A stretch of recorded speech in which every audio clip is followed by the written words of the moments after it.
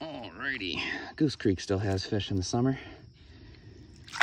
I don't even mind blowing the spot up because uh, crawling through this mess is not fun.